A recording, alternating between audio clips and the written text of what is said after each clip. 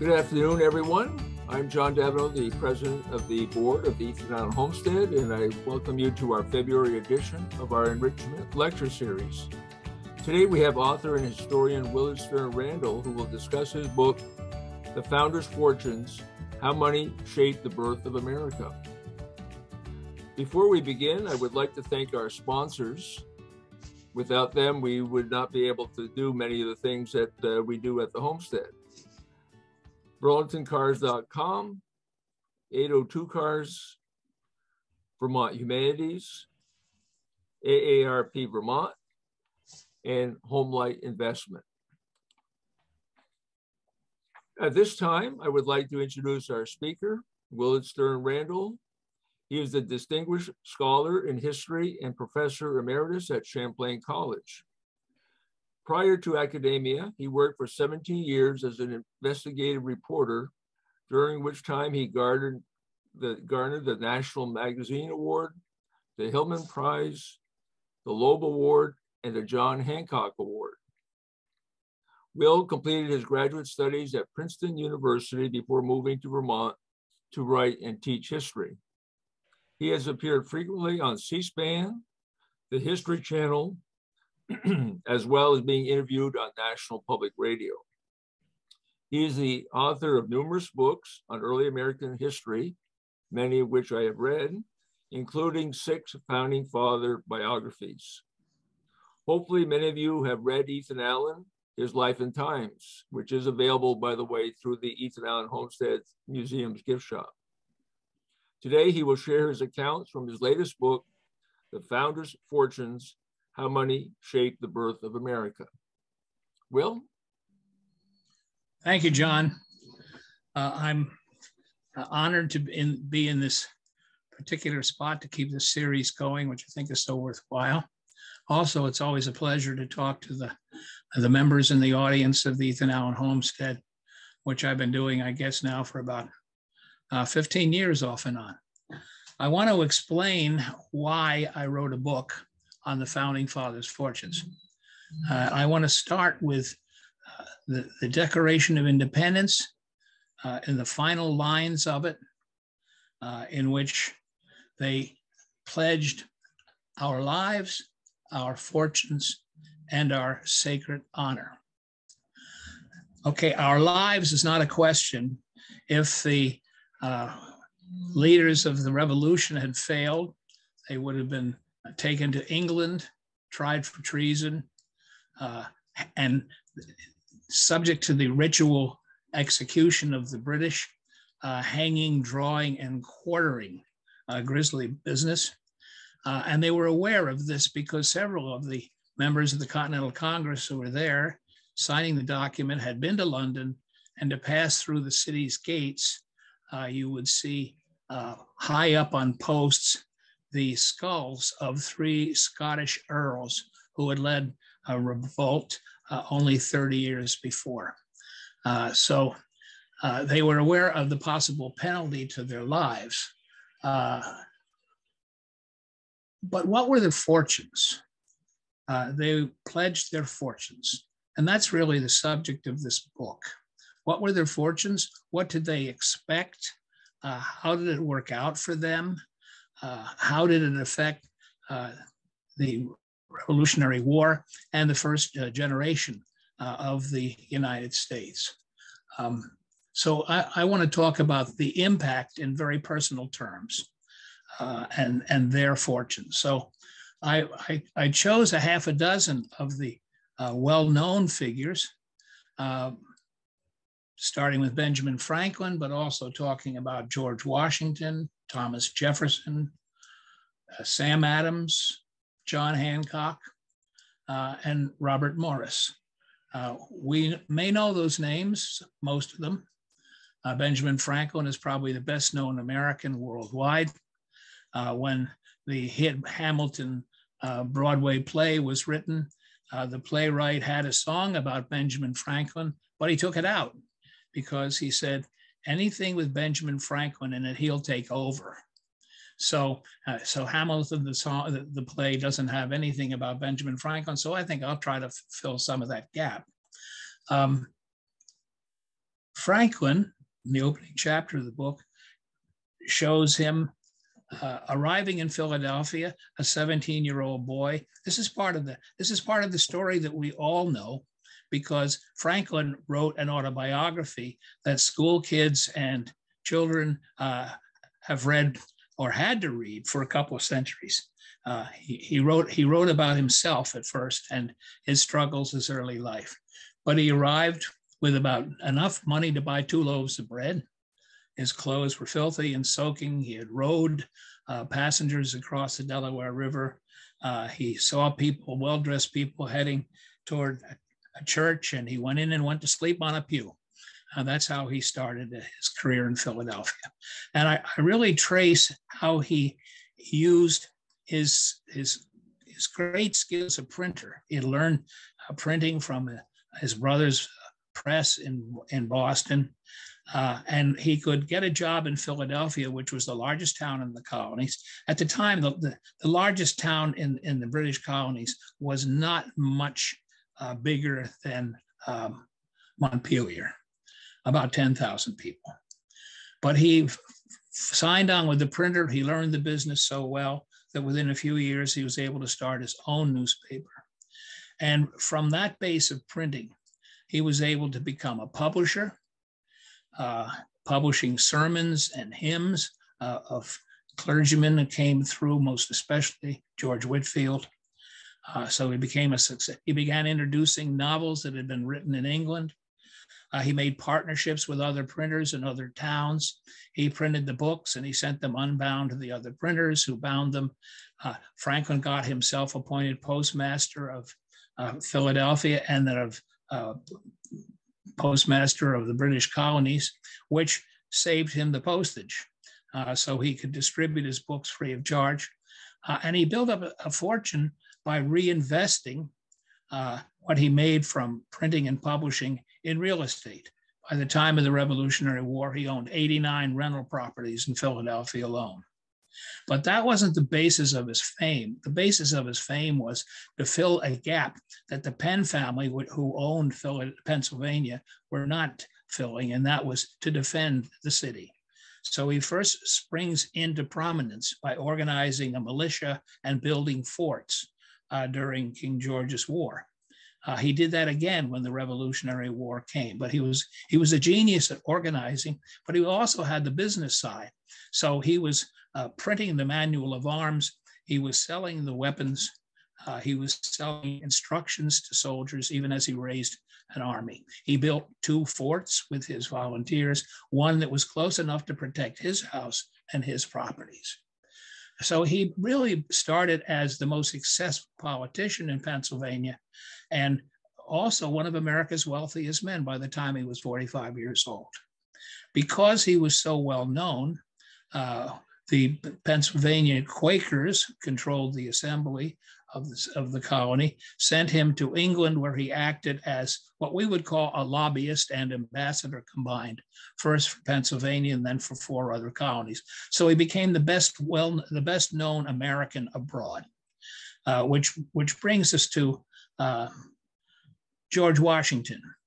George Washington met Franklin when both of them wound up uh, heading west in, from Philadelphia with the Ar- British Army of General James Braddock, which would be absolutely destroyed. Washington was the only officer uh, who he was along as a volunteer, um, a militia officer. He was the only officer not to be killed or wounded. But he met Franklin when Franklin was trying to raise uh, supplies, wagons, horses for Braddock's uh, army. And the, and the Pennsylvania farmers did not want to give credit to the to the King of England because they thought they'd never be, repay, be repaid. So Ben Franklin's brilliant idea basically uh, was uh, to say that there were um, hussars, uh, British hussars, cavalry, which would come to the farms and take the horses and the wagons, etc. So he was the logistical man and Washington turned out to be the bookkeeper on the expedition, secretary to Braddock, the, the man who paid the, the soldiers, paid the contractors. But he, he was charming, young, affable, and Braddock, a, a, an, an old armchair general with no battlefield experience, actually took the advice of George Washington and split his forces when he went to attack the French in what is now Pittsburgh, which was a disaster because the forces were split. The second column could not reinforce the first. So uh, George Washington's military career uh, would not be uh, that that uh, successful uh, until the Revolutionary War. But they got to know each other, and that would be a lifelong important friendship. Washington himself had been born not poor, uh, but his mother was widowed three times. Uh, she was a single mother, we would say now, uh, raising George and his brothers and sisters. Um, she was extremely strict, and he got on the wrong side of her uh, seriously by borrowing her best horse and riding it uh, and injuring it until it had to be put down. So they never really got along very well after that. Uh, he didn't get to go to school regularly, but he found in the shed uh, the surveying tools that his father had left, and he taught himself surveying. And it turns out George Washington was a math whiz. I had a professor at St. Michael's College evaluate his math skills and say that he had at least as much math skill as any math major in a college today, which would help him with artillery, for one thing, uh, logistics. Uh, he was extremely popular, uh, even in, in one defeat after another, and became the leading American officer um, on the side of the British. He was actually briefly a British general uh, before the revolution began. But after five years of frontier warfare against the, the French, uh, he decided it was time to settle down, fix up the, the house he'd been left uh, by his half brother. We call it Mount Vernon. It wasn't much of a house when, it, when Washington took over. And he decided it was time to marry. So he heard that there was a wealthy widow, Martha Washington, and he stopped by uh, uh, uh on a, ro- a, road to Williamsburg uh, and stopped by to uh, offer his condolences. Well, he offered them very, very well. And so the uh, went out to tell his, his enslaved um, companion to go home, take the horses. And George Washington spent the night. The next day, they were engaged. Uh, and I, I depict uh, not only the, the wedding, uh, the good things about the wedding, uh, but also the problems that were already beginning because George Washington had to order everything, as any American did, uh, that, that was manufactured from England. And his suit for the wedding arrived six months late, for example. Whenever he ordered clothing for Mar- Martha, it never fit. Uh, Americans were sort of in bondage to the merchants and the bankers of England. They, and the British kept tightening the laws uh, against the Americans, so they had fewer and fewer privileges. There were no banks, there was no American currency. Uh, Washington had to buy hoes and rakes and shovels from England for his field workers. Uh, he had to buy clothing from England uh, because nobody was making it in America. And, and, as time went on, he became extremely aggravated with the British system. Um, and he, you had, because of no bank, you had to spend bank, you had to spend notes, send notes to a banker of yours, a broker in England. And it just so happened that uh, he sent one note um, and three people who owed him money sent notes at the same time. Theirs were no good, theirs bounced, and so did his. So when George Washington managed, in effect, to bounce a check, for the first time he was in debt. And I think that was such a shock that he decided to study the financial system of the time. And first thing he did was to see how much he was paying to the British to ship his crops, warehouse them, process them, pay taxes, pay duties. And he found out that the British were getting 75% of his profits. So he changed his business model uh, from growing tobacco, which was labor intensive, to growing wheat, which didn't go to England, but went to surrounding uh, farms and towns. And eventually he began building his own ships to ship wheat uh, as far as way far away as Italy in the Caribbean. So he was a very successful businessman by the time the revolution came. Um, probably the best known uh, founding father after Franklin and Washington was Thomas Jefferson. Uh, Jefferson, again, was not from a wealthy family. Not none of the founding fathers were. Um, and, and Jefferson, uh, like Washington, uh, lost his father when he was only 11 years old. Uh, but Jefferson was sent off to a, a, private school. By that, I mean there was a minister who was a pretty good teacher who had a sort of a wing on his house where he took in boarding students and he was their teacher. So Jefferson was an avid student. He loved to study. He almost loved to overstudy. Uh, he spent seven years studying law before he set out to make a nickel as a lawyer, as opposed to Patrick Henry, who spent two weeks with two books he borrowed from Jefferson and never even opened. Uh, Patrick Henry was a, a born orator. Thomas Jefferson was not, but he was a careful scholar. Jefferson fell in love with a, a beautiful young woman in Williamsburg, uh, where he went to join the House of Burgesses, Virginia government.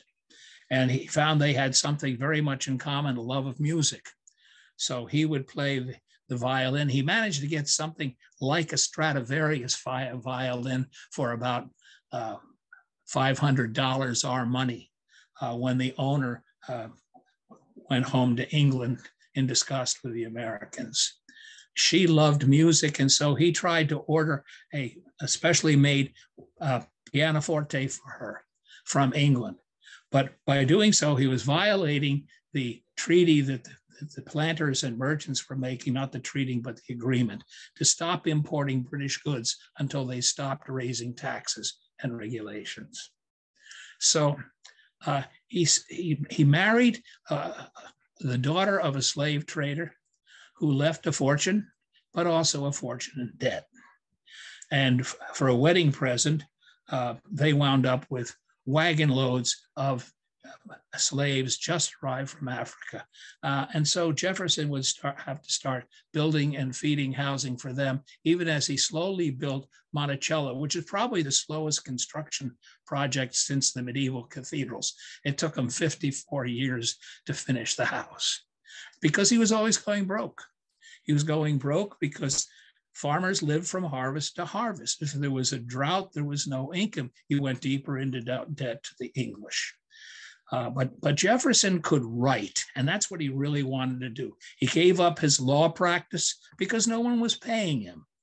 Uh, he never went into a courthouse again uh, after 1775, but he went up into his house on the mountain, Monticello, and began writing the first long ex- explanation of the, the American complaints against the British. It got read by uh, other Virginia lawmakers and he was sent to Philadelphia to take part in the Second Continental Congress. By the time he arrived, he was already famous for what he had written. So he was the one that was chosen on the committee with uh, Adams and Franklin and a few others to draft the Declaration of Independence, which he did without consulting any books, mostly from his own mind and his learning, and a few local newspapers. But in three weeks, he crafted the Declaration of Independence. And then Congress set to, to, to work amending it, cutting out um, something like 85 words, phrases, etc., including the, the, the clause that would have abolished slavery. So the anti-slavery language in the Declaration of Independence hit the cutting room floor.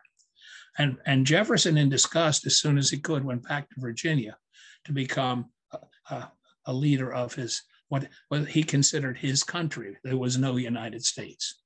So he was very much the leading Virginian um, for um, much of the rest of his life until, until he was sent to Paris.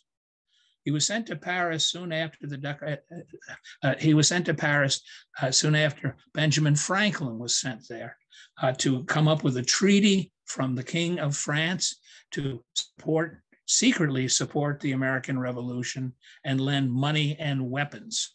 So I, I, devote a fair amount of this book to how America got weapons to carry on the revolution, an eight year long war, and how eventually the French sent even cannon all the way from France in convoys, uh, unloaded into small bo- boats that brought them to towns all along the coast.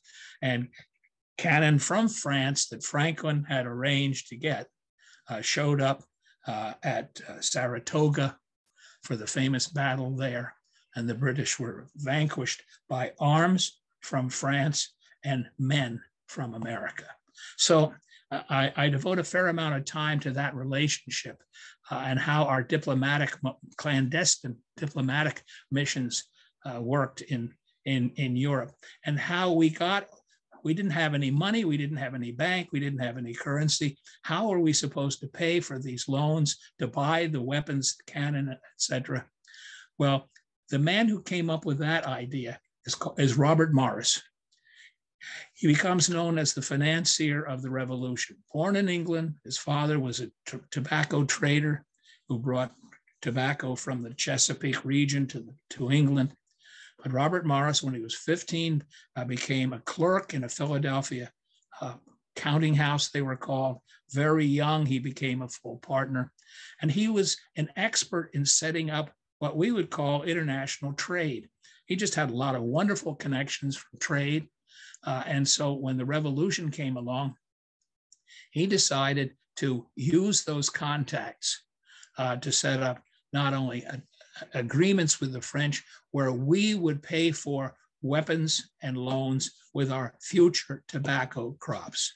And one of the interesting sidelights of this uh, to me was why did the French decide to throw in with the Americans? The French had a monarchy. Why would one monarchy want to go up against another monarchy? The whole idea of revolution was not in anybody's mind yet. Well, there are some obvious reasons, I guess. The British had defeated the French. The French would want revenge. Uh, the French would want Canada back, that, that it surrendered to the British after the French and Indian War. But the, the, the, little fact that I stumbled on that explains a lot was that the French were hooked, addicted on something called snuff. Very good quality tobacco that would be ground to powder, and they would put it uh, on the side of their hand or hold a, pinch with an index finger and thumb, put it to their nostrils, inhale it, and then sneeze. Well, snuff was the rage in Europe. The problem for the French is they didn't have any colonies that grew tobacco. So they had to pay the British, the enemy, for the snuff. And eh, when I say it was the rage, it was the rage all through the court of the king. And the, if the king liked you, he would give you a snuff box. And we'll come back to that a little later. Uh, but people walked around snorting and sniffing and sharing flavored snuff with each other uh, and, and didn't seem to be able to live without it.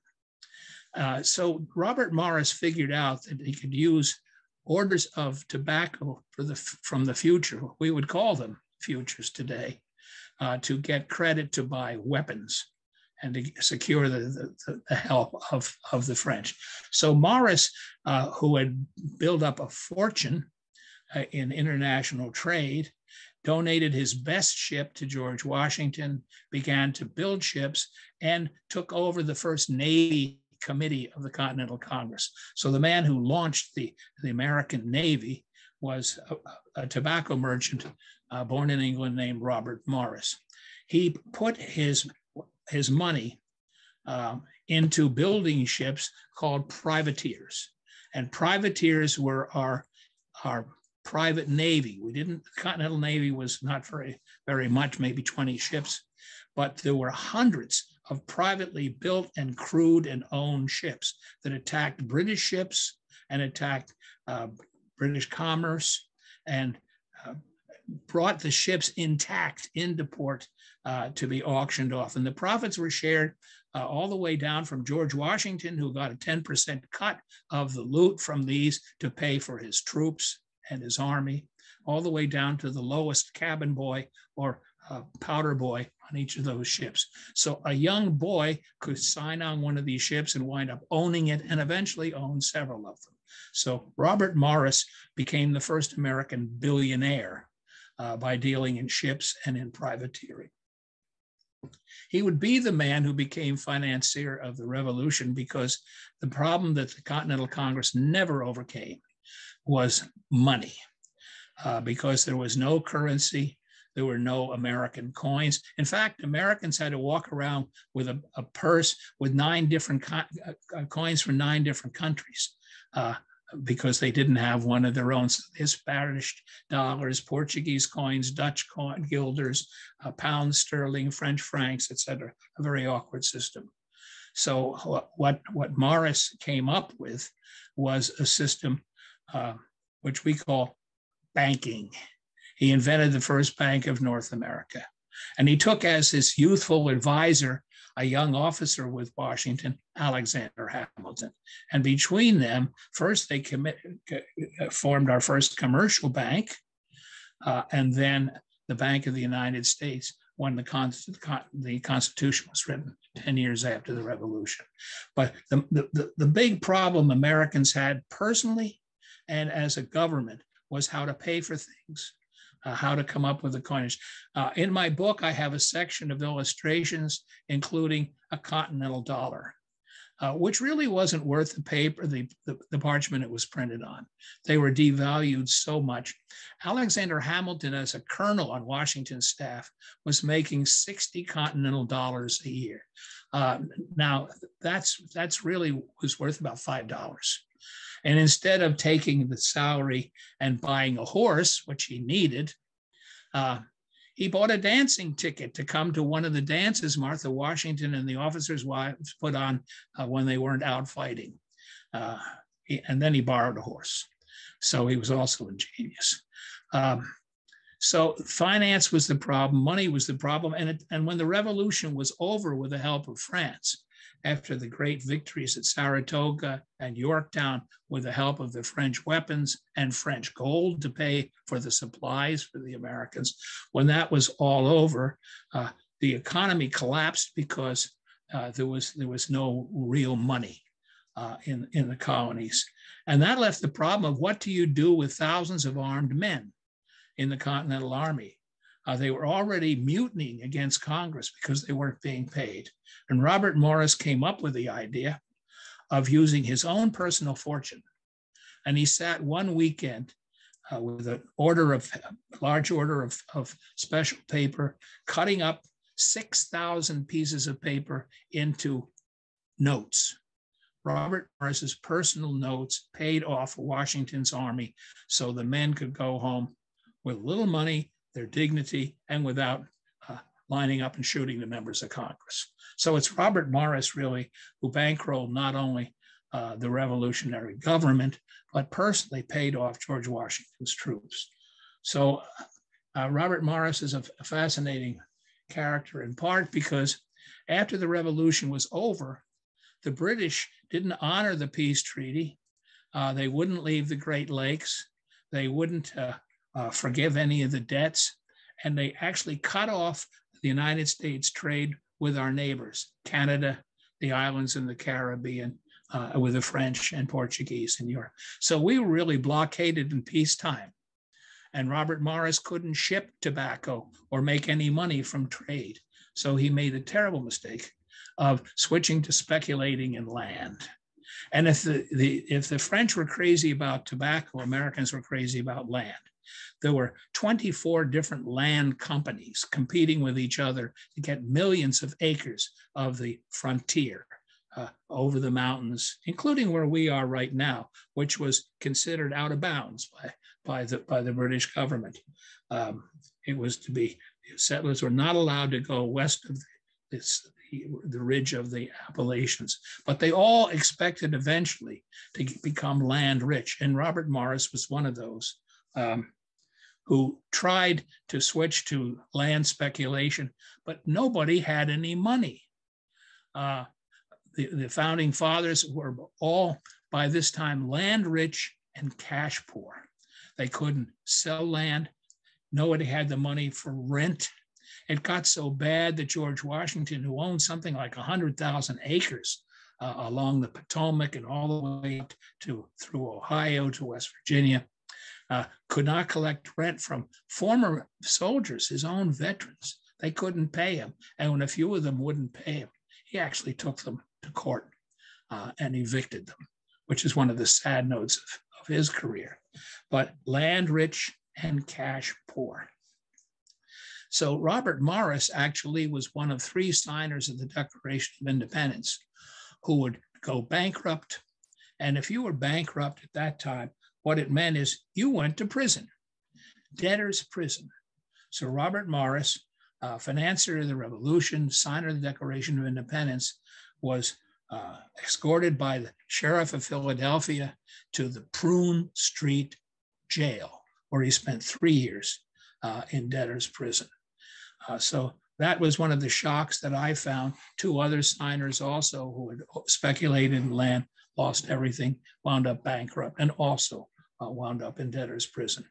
So, uh, what really prompted me to write this book was reading a long time ago a theory uh, by someone named Charles Beard, Columbia University professor, writing in 1913, uh, asserting that the founding fathers were in it for the money.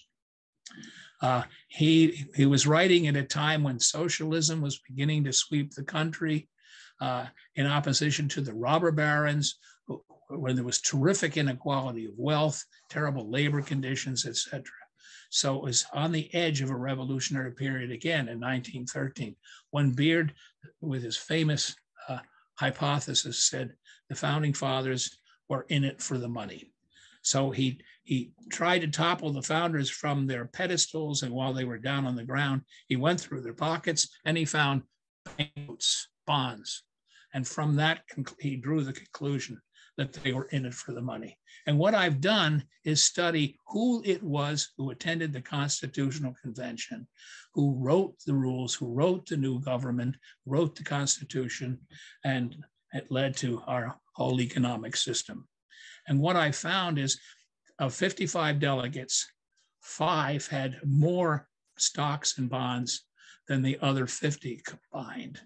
Uh, most of them had very little money and very little invested uh, in financial instruments, bonds that could profit from a new system with a new bank and a new currency. So, for example, uh, there's a gentleman named uh, Gilman from New Hampshire, member of Congress. He'd owned a general store until he got a job in Congress. Uh, I found the Chief Justice of New Jersey.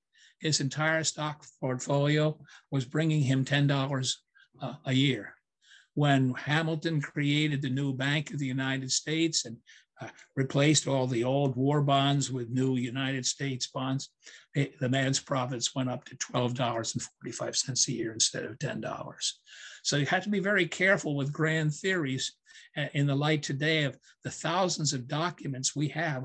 Uh, when Beard wrote, he only had records of some of the states. Uh, I've had the benefit of a lifetime of going through archives and the, doing the research for biographies. And what I've learned, uh, first as an investigative reporter and as a historian, you can find just about anything on the on the public record. And that is if the public record is kept intact. So um, as to Beard's theory, well, he created the progressive school of, of history. And for generations, uh, that uh, impelled graduate students and historians uh, to look at the dark side of American uh, politics uh, and of the founding fathers. And I think you have to examine the evidence before you cast either darkness or light. Uh, and that's what I've set out to do with this book. I think the best known of the founding fathers today may have surpassed even George Washington and Benjamin Franklin, and that's Alexander Hamilton. Uh, because of a hit Broadway play that is still running even be, after COVID. It's the stage is f- up again. The audiences are packing in. Uh, and Alexander Hamilton and his story are probably the best known founding father story today. Uh, and even if you have seen the play and you know the story, you might be surprised at what happened after the end of it. And that is after Hamilton uh, was killed in a duel with Aaron Burr, uh, he had so little money. The man who had founded the Bank of the United States, our entire economic system, who set it up, uh, was so honest that he was broke, so broke when he died, uh, that his colleagues, his friends, had to take up a collection uh, to pay for his funeral. So, uh, if, uh, if, if you need an example of uh, how honest these men were as they pursued prosperity for their country, I think there's really none better than Alexander Hamilton. Um, our system, I think, has thrived because of the, enter- the enterprise of private citizens uh, who put it aside in the public interest. And that's the story of the founders and their fortunes and how their money has shaped the policies, the Constitution, the Declaration of Independence, the two most important of our documents, how they got the country off to a, a good start, even at the, at the cost of, of, of their own fortunes. Uh, they were fortunate because they had created the United States, but they were, they were unfortunate if they were only setting out to make money. So um, the founders' fortunes, how money shaped the birth of America, is the is uh, my 12th book, and I'm going to keep uh, digging and finding out all I can about that generation. Thanks very much. Well, thank you, Will. Uh, again, you shared several anecdotes in your book uh, and in your talk today from your book. And I have just finished reading the book myself about two days ago. And as in many of your other books, you have a knack of bringing out anecdotes that even though we have all read a lot about the American Revolution, you seem to be able to find human interest stories there that uh, really make the story much more meaningful. So I appreciate what you do there. Uh, and thank you for sharing your time with us today. Now, a reminder to everyone, if you are watching this talk on Sunday, February 20th, immediately after this program ends, you would be able to go to the link, which many of you have received, the Zoom link, and join Will in a question and answer period. If you do not have that Zoom link, you can send me an email at the address that I have up, hopefully up on the screen, devino13 at comcast.net, and I will send you that link. If all else fails, give me a call at my home number, which is 802 863 5403 Operators will be standing by to help you to get into the uh, question and answer period. So again, Will, thank you very much for joining us uh, today with this great talk. Thank you very much, John.